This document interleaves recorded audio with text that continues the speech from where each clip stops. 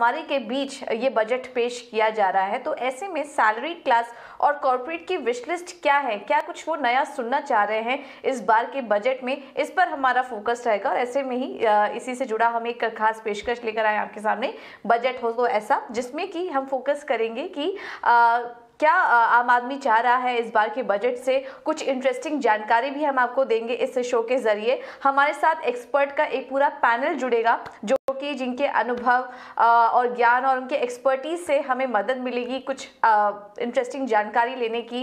उनसे हम ये समझेंगे कि क्या कुछ इस बजट में होना चाहिए और हम अपनी विश विश लिस्ट वित्त मंत्री तक पहुँचाने की कोशिश करेंगे। तो चलिए शो की शुरुआत करते हैं और सबसे पहले शामिल करते हैं टैक्स गुरु मुकेश पटेल को, वो इसमें हमारे साथ मौजूद हैं।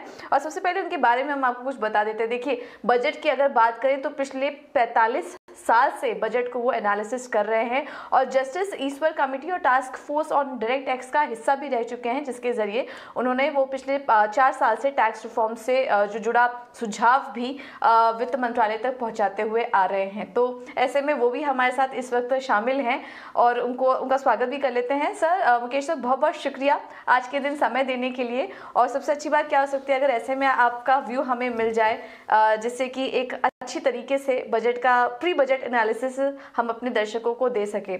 आ, तो सबसे पहले तो शो की शुरुआत करते हैं और यही जानना चाहेंगे कि हर बार आ, जब बजट आने वाला होता है तो बेसिक एग्जेम्पन लिमिट्स और टैक्स स्ट्रक्चर को टैक्स रेट स्ट्रक्चर को रैशनलाइज करने की काफ़ी सारी बातें की जाती हैं और काफ़ी सारे सुझाव भी दिए जाते हैं। इसी को लेकर आपका भी व्यू जानना चाहेंगे? ऐसे में आपका क्या व्यू बन रहा है एग्जेम्पन लिमिट्स को लेकर और ट्रैक स्ट्रक्चर की अगर रैशनलाइज की, की बात की जाए रिव्यू की बात की जाए तो आपका क्या व्यू बन रहा है इस पर सर पूजा सबसे पहले तो ईटी e नाउ स्वदेश की ओर से ये पहला बजट एनालिसिस भी होगा प्री बजट पोस्ट बजट इसलिए उसकी टीम के एक भाग एक हिस्सा बने रहने का मुझे बहुत आनंद है। और जैसे आप जानते हैं कि हम आज़ादी का अमृत महोत्सव ये 2022 में मना रहे हैं। बजट का सिलसिला शुरू हुआ उन्नीस से तो ये पिचहत्तरवा साल जो हो गया, हम चाहेंगे कि इस अमृत महोत्सव के साल में कुछ अमृत बिंदु भी हमें वित्त मंत्री खास तौर से पेश करें। आपका जो ये सबसे पहला सवाल है, बहुत अहम है कि ढाई लाख की लिमिट, क्या ये इसमें बढ़ोतरी होनी चाहिए। अब मैं मानता हूँ, आम आदमी तो ये सोचेगा कि ये ढाई का तीन और तीन का साढ़े तीन, चार, पाँच क्यों ना हो। वित्त मंत्रालय का और मेरा भी उनके साथ एक निकट का नाता होते हुए मैं ये मानता हूँ कि ये ढाई लाख की लिमिट के एग्जामेशन में कोई बढ़ावा करने की आवश्यकता नहीं है। हमें जो ज़रूरी है, वो हम और तरीकों से जिसके बारे में मैं अभी बात करूँगा I think we should try to encourage the taxpayer for greater voluntary compliance अब ये ढाई लाख को अगर आप मान लीजिए पचास हज़ार भी बढ़ाते हैं तो आपके एक करोड़ टैक्स पेयर्स करीब यू you नो know, आपके टैक्स रिटर्न के लिस्ट में से निकल जाते हैं तो ये सही बात नहीं है क्योंकि अभी हमारा जो सात करोड़ के हम्म। ऊपर का टैक्स बेस है वो टैक्स बेस जो है वो बना रहना चाहिए, उसको स्लैश नहीं करना चाहिए, क्योंकि ये सात करोड़ में से भी टैक्स भरने वाले जो हैं, वो केवल थर्टी परसेंट है। अच्छा एक ही और छोटी सी बात मैं कहूँगा रेट स्ट्रक्चर के बारे में मैं मानता हूँ कि ये फाइव परसेंट जो है पाँच लाख तक, उसके बाद सीधा ट्वेंटी परसेंट का जंप होता है, और फिर दस लाख के ऊपर थर्टी परसेंट तो ये 5, 20 और 30 it is a very irrational kind of a thing तो 5 परसेंट के बाद 10, 20 और 30 के स्लैब रेट्स बने। और जो हाईएस्ट स्लैब है हमारा 10 लैक्स का उसको भी ऊपर करना चाहिए ये मानता हूँ। और last thing in the rationalisation is surcharge क्योंकि ये जो सरचार्ज है वो अभी पिछले दो सालों से, जैसे हम कहते हैं कि सर से बड़ी पगड़ी 30 percent is your tax rate and the highest surcharge is 37 percent forty five years से मैं बजट को ट्रैक करता आया हूँ 2 परसेंट से लेके सेवनटीन परसेंट तक का सरचार्ज रहा है। इनफैक्ट आठ ऐसे बजट क्लीन रहे हैं जहाँ ज़ीरो परसेंट सरचार्ज था। मैं ये मानता हूँ कि ये सरचार्ज को घटाने की काफ़ी आवश्यकता है ताकि ज़्यादा वॉलंटरी कंप्लायंस हो। बिल्कुल। तो सरचार्ज को घटाने की आवश्यकता है इस वक्त और देखिए, इसके ज़रिए हमने आपको कुछ अहम जानकारी भी दी है और आज के शो में हमारा फोकस यही रहेगा कि टैक्स से जुड़े हर एक पहलू को हम आपके सामने लाकर रख सकें। इसी से जुड़ा मेरा दूसरा सवाल था मुकेश जी। सेविंग्स और इन्वेस्टमेंट की बात करें तो टैक्स में एटीसी जो कि काफ़ी ज़्यादा पॉपुलर सेक्शन है और जिसके ज़रिए करीब डेढ़ लाख की डिडक्शन भी मिलती है। लेकिन ये जो आ, बदलाव था ये आखिरी बार हमने देखा था 2014-15 में आ, देखने को मिला था। अब उसके बीच देखिए आठ साल का अंतराल आ चुका है इसमें कोई बदलाव नहीं हुआ और ये सेक्शन काफ़ी ज़्यादा क्लटर भी हो चुका है जिसमें कि बदलाव की बार बार बात भी की जा रही है। इस पर आपका क्या व्यू बन रहा है मुकेश जी? पूजा, आपने क्लटर की बात की ना तो सी के लिए मैं हमेशा एक एग्ज़ाम्पल देता हूँ कि जैसे बंबई की लोकल ट्रेन के डिब्बे में, जैसे आपको खड़े रहने की भी जगह नहीं होती है ना, इस तरीके से एक ही सेक्शन में इतनी सारी स्कीम्स को भर दिया गया है और उसकी लिमिट रखी गई है केवल डेढ़ लाख। और इंटरेस्टिंग बात यह है, मैं 45 सालों की नहीं केवल पिछले 15 सालों की बात करता हूँ। पिछले 15 साल माना 2006-7 में एग्जामेशन लिमिट बेसिक लिमिट थी 50,000 वो लिमिट 50,000 की आज ढाई लाख है।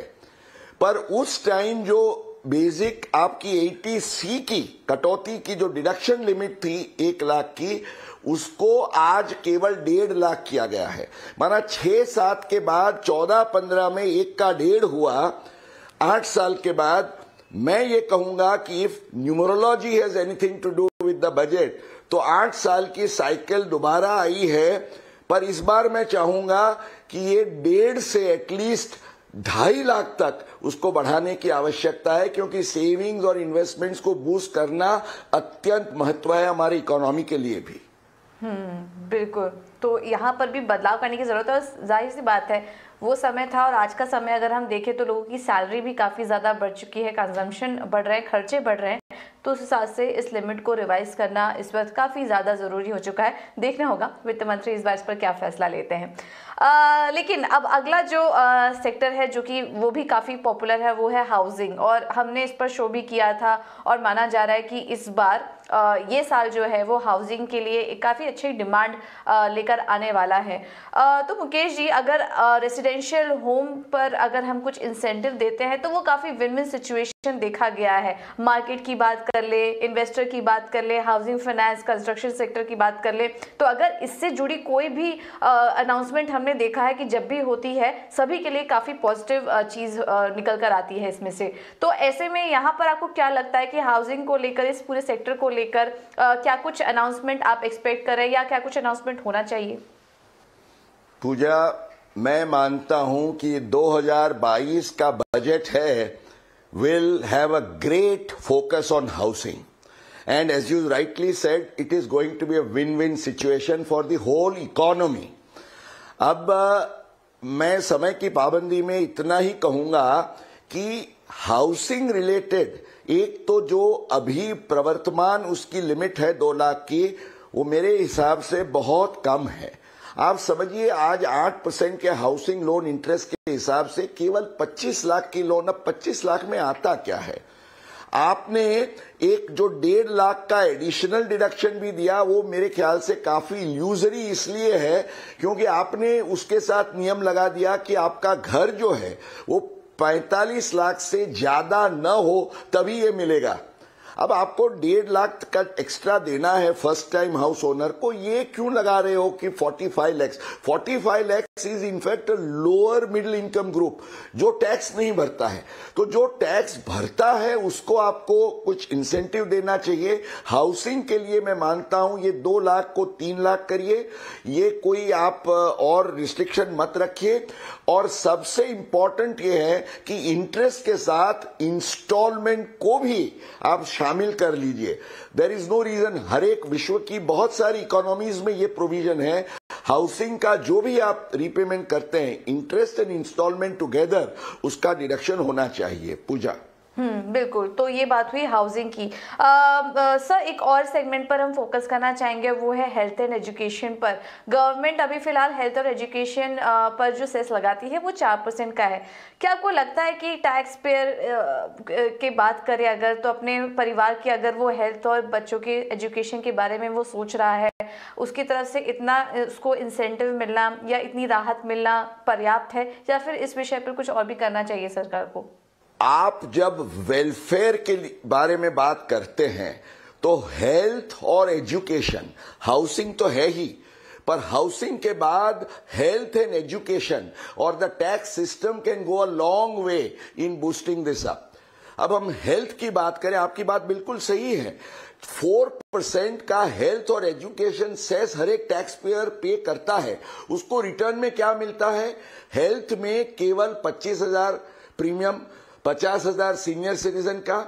अब इंश्योरेंस का आयरनी ये है कि जिसको इंश्योरेंस की ज़रूर है, उसको दिया नहीं जाता है। जिसको हेल्थ के प्रॉब्लम से उसको बोले, बोलेंगे कि या तो आपका प्रीमियम बहुत ज़्यादा होगा, या तो आपको देंगे नहीं। तो मैं ये मानता हूँ कि केवल प्रीमियम के ऑल हेल्थ एक्सपेंडिचर के लिए आपको डिडक्शन देना चाहिए। केवल सीनियर सिटीजन नहीं नॉन सीनियर्स को भी उसको मिनिमम एक लाख करिए। इंश्योरेंस प्रीमियम या आप ये जो भी करें वो। और एजुकेशन की अगर हम बात करते हैं तो एजुकेशन में ये ट्यूशन फ़ीस उसको भी ये एटीसी के क्लटर में डाल दिया गया है। You hardly get any benefit education में जो आपको इंटरेस्ट ऑन लोन जो है, वो भी हायर एजुकेशन के लिए है। अब लोन ले क्यों? आज पेरेंट्स अपने अपने आमदनी में से भी खर्च करें अपने बच्चों की पढ़ाई के लिए तो उनको डिडक्शन मिलना चाहिए और उसके लिए एक अलग सेक्शन मिनिमम आप एक लाख की एजुकेशन फ़ीस रखें और इंटरेस्ट के साथ इंस्टॉलमेंट को भी कवर करें। मैं ये मानता हूँ, बहुत ज़रूरी है। हेल्थ और एजुकेशन आज आज़ादी के अमृत महोत्सव में ये हमारे अमृत बिंदु समी भेंट होनी चाहिए। हम्म बिल्कुल ठीक है तो आ, ये कुछ आ, राहत है और सही बात है जब हम वेलफेयर की बात करते हैं तो इन कुछ इम्पोर्टेंट पॉइंट्स पर भी ध्यान देना काफ़ी ज़रूरी है। अब आते हैं कैपिटल मार्केट पर और हम देख रहे हैं कि जिस तरह से रिटेल निवेशकों का रुझान बढ़ता जा रहा है आ, ऐसे में आ, सर आपका भी यहाँ पर व्यू लेना काफ़ी इम्पोर्टेंट होगा। कैपिटल मार्केट में रुझान और ज़्यादा बढ़े रिटेल निवेशकों का स्पेशली सैलरी क्लास का उसके लिए क्या कुछ करना चाहिए? टैक्स के फ्रंट पर क्या कुछ राहत देनी चाहिए एक आम आदमी को? पूजा ये ये एक विषय ऐसा है कि इस पर हम एक पूरा एपिसोड कर सकें, पर मैं अगर दो या तीन मिनट में मेरे पॉइंट्स, बुलेट पॉइंट्स रखने हैं तो मैं ये कहूँगा कि आपकी बात बिल्कुल सही है। जब आपके कैपिटल मार्केट के जो रूट्स हैं, वो पेनिट्रेट होते हैं आम आदमी तक, रिटेल पार्टिसिपेशन बढ़ता है तो उससे पूरी इकोनॉमी को एक बूस्ट मिलता है।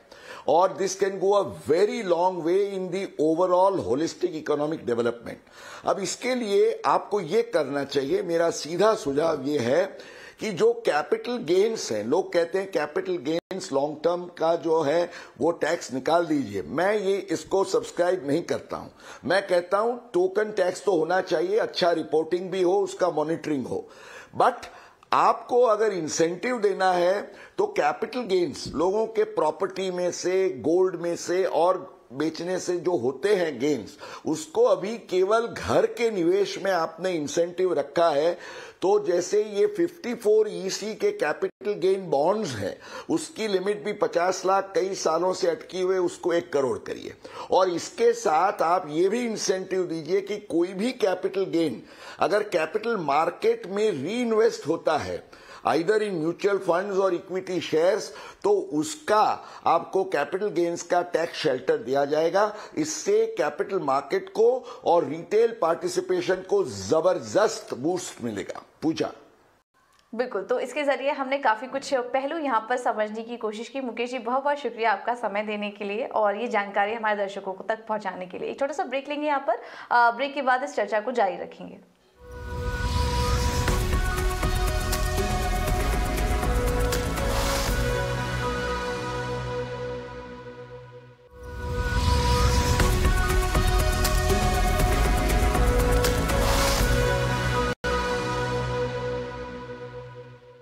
ब्रेक के बाद आपका स्वागत है और आप देख रहे हैं टैक्स मंत्रा थोड़ी देर पहले हमने सैलरी क्लास की क्या एक्सपेक्टेशन है, हो सकती है इस बजट से इस पर चर्चा की। अब हमारे साथ कुछ और भी एक्सपर्ट्स जुड़ रहे हैं। डिलॉयट इंडिया से अतुल गुप्ता और डिलॉयट इंडिया से ही हमारे साथ राजेश गांधी भी मौजूद हैं और ये दोनों ही इनडायरेक्ट और डायरेक्ट टैक्स को बड़े ही क्लोजली ट्रैक करते हैं।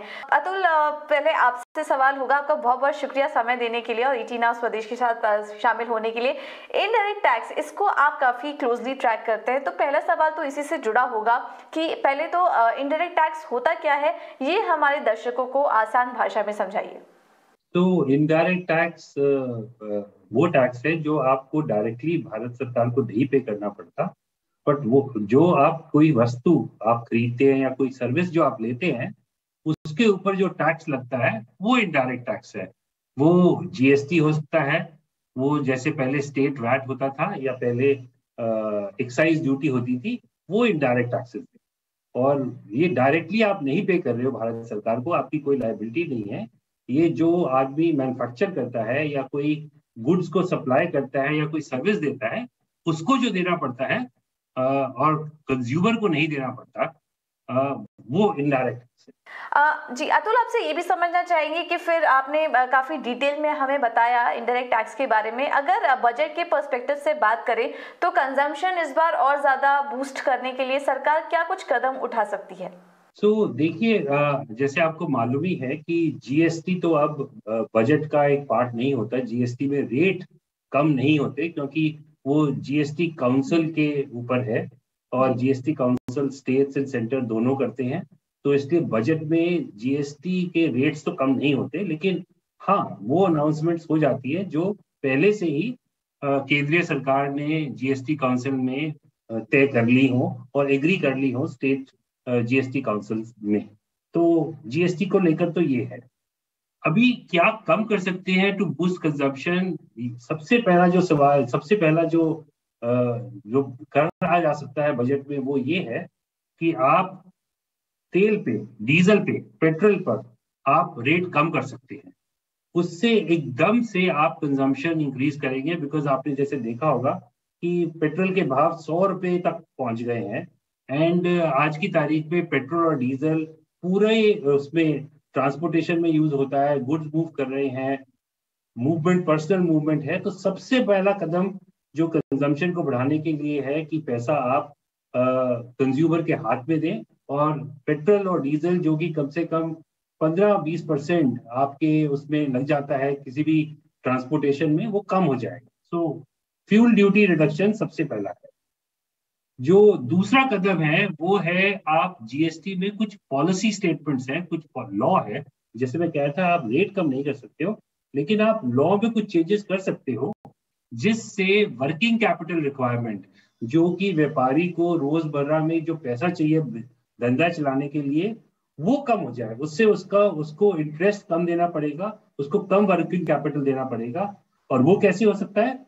वो हो सकता है कि इनपुट टैक्स क्रेडिट में आज की तारीख में व्यापारी को कई चीज़ों पे नहीं मिलता।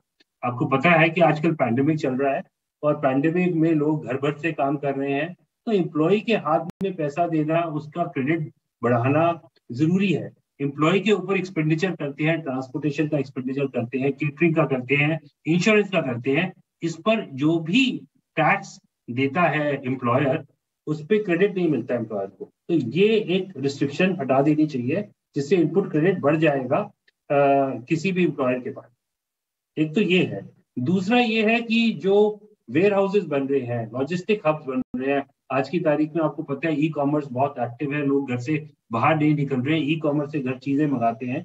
तो वेयर हाउसेज जो बनते हैं, जो लॉजिस्टिक हब बनते हैं, उस पर जो भी टैक्स पे करना पड़ता है, वो आज की तारीख में जीएसटी लॉ में क्रेडिट नहीं मिलता व्यापारी को।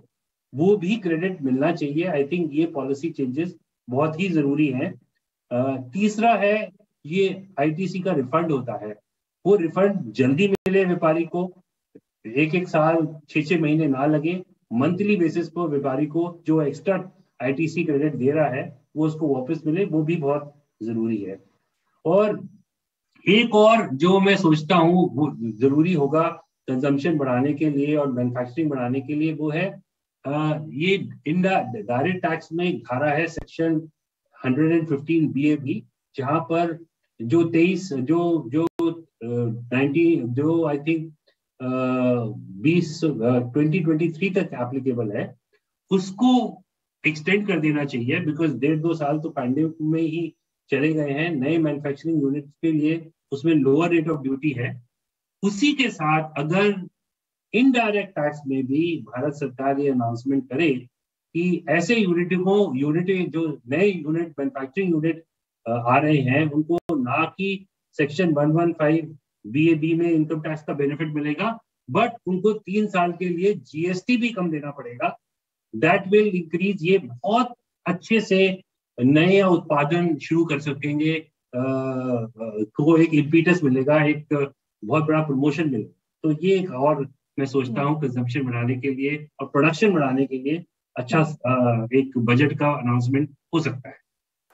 अब हमारे साथ राजेश गांधी भी मौजूद है। राजेश जी, आपका भी बहुत बहुत शुक्रिया समय देने के लिए।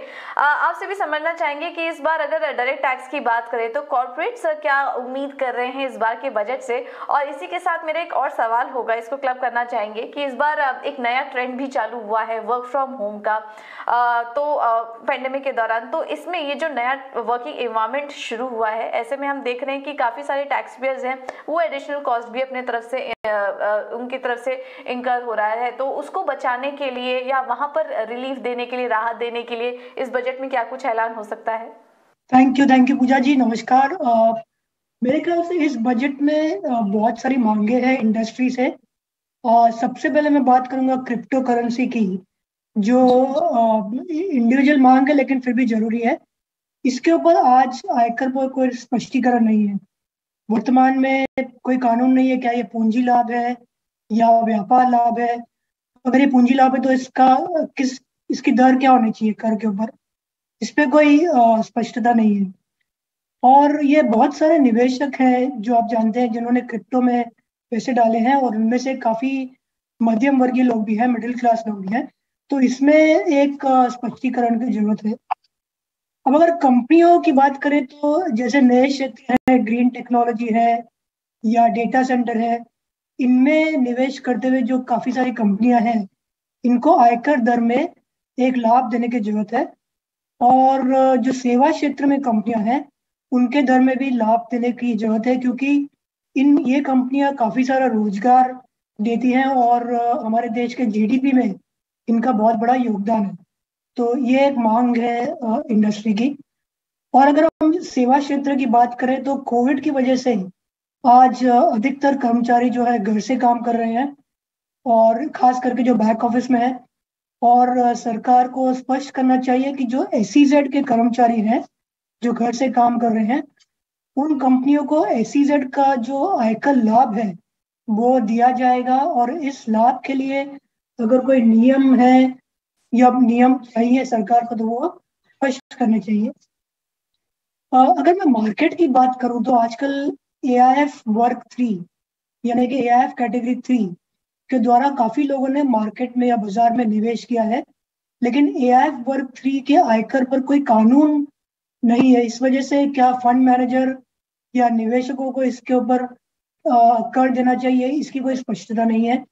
जिस तरह से म्यूचुअल फंड के टैक्स में या कर में एक स्पष्टता है, उस तरह से A I F work three के कर पे भी एक नियम होना चाहिए।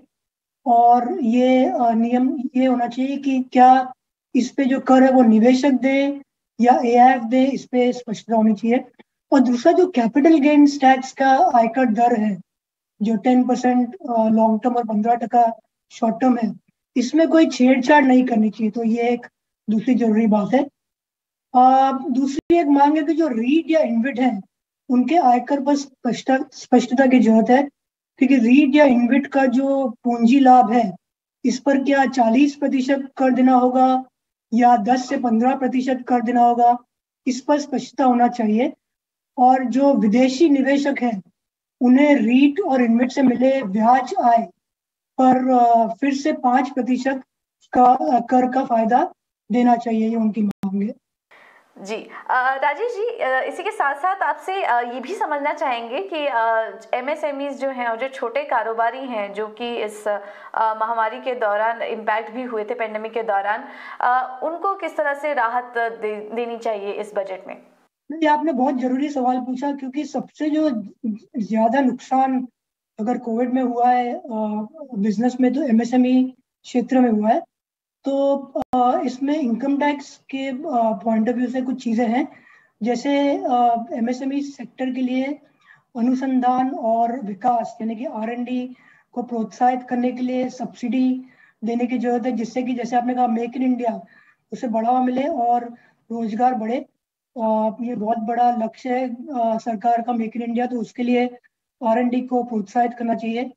और जो नए उत्पाद नई उत्पादन कंपनियाँ हैं जिनपे पंद्रह प्रतिशत का आयकर लगाया गया है, उसकी तारीख मार्च 2023 तक है। उस तारीख के पहले उन्हें उत्पादन शुरू करना है। ये समय थोड़ा कम है। इस तारीख को बढ़ाना चाहिए क्योंकि अभी हमें उत्पादन को बहुत प्रोत्साहित करना है और बहुत सारी जो लाभ से जुड़ी प्रोत्साहन योजना है, जैसे कि जो पीएलआई स्कीम्स हैं, वो हाल ही में घोषित की गई है।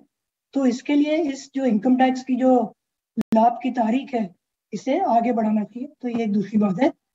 और एक और बात मैं अगर कहूँ तो एमएसएमई सेक्टर के लिए कि जो निर्यात में अभी हमारी कोई योजना आयकर के लिए खास नहीं है तो निर्यात को बढ़ावा देने के लिए सरकार को कोई प्रोत्साहन देने चाहिए, चाहे वो कर में हो या किसी और तरीके से हो। और जो उनमें अनुपालन है या जो उनमें कंप्लायंस है, उन्हें थोड़ा सा कम करना चाहिए ताकि वो थोड़ा और उसमें आसानी हो जाए। राइट चलिए आप दोनों का ही बहुत बहुत शुक्रिया समय देने के लिए और हमारे साथ इस चर्चा में शामिल होने के लिए। और देखिए, काफ़ी आसान भाषा में हमने आपको समझाने की कोशिश की कि इनडायरेक्ट टैक्स से क्या उम्मीदें हैं कॉर्पोरेट्स इस बजट से क्या उम्मीद कर रहा है और साथ ही साथ सैलरी क्लास की क्या मांगे हैं इस बजट से, ये भी हमने आपको बताया। तो इस पूरे का अगर समअप करें तो काफ़ी कुछ इंटरेस्टिंग व्यूज़ भी निकल कर आए हैं और हमारा ये शो बनता है बजट हो तो ऐसा। तो क्या व्यूज़ हैं आपके इस बजट के बाद ये भी हमें ज़रूर लिखिए भेजिए। हमें व्हाट्सएप के ज़रिए और अपने मैसेज हम तक पहुँचाइए। और इसी के साथ ही साथ बजट से जुड़े और भी इंटरेस्टिंग जानकारी के लिए आप ही टी स्वदेश के साथ बने रहिए। नमस्कार।